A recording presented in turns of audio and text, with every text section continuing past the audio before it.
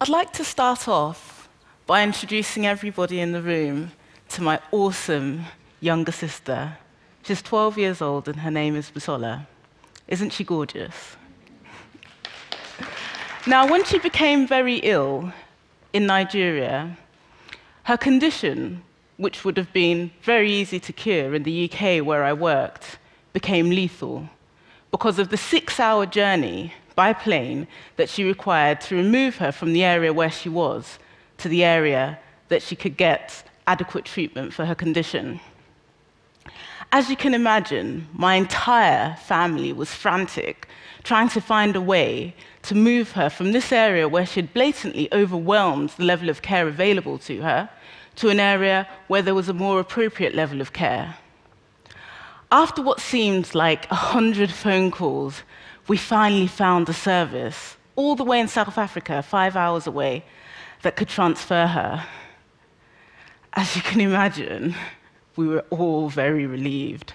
And I picked up the phone immediately and called my sister to tell her that everything was going to be okay. There was a service in South Africa that was going to move her away from Lagos to a better hospital where the doctors would make her better. Everything was going to be okay. Just a few hours after that conversation, my beautiful, awesome sister was dead. And it was that death that inspired me to begin to work at the speed of life. Currently, there are hundreds of people over, all over West Africa that rely on our team of 40 doctors and 16 aircrafts to move the right patient to the right medical facility within the right time frame.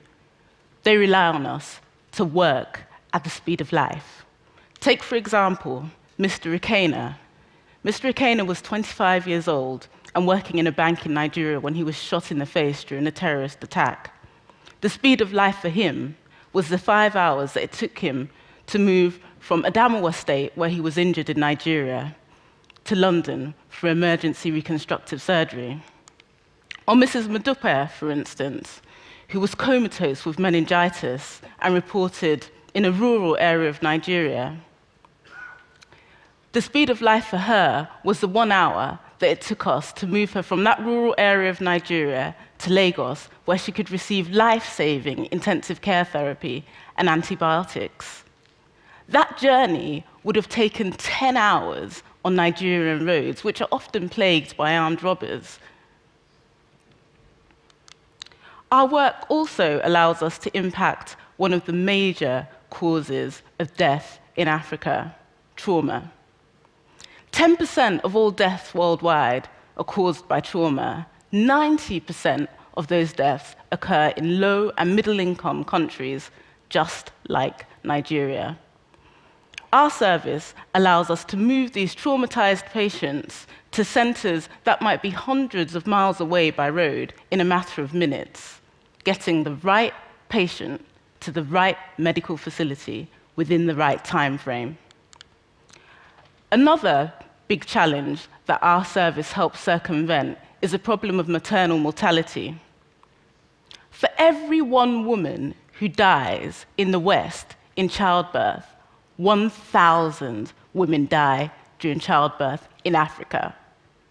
I'll say that again because you all don't look surprised enough. For every one woman who dies in the West during childbirth, a thousand die in Africa. So we took a service that works well in the West and adapted it for Africa. It's a simple concept, but definitely an idea worth spreading. Thank you.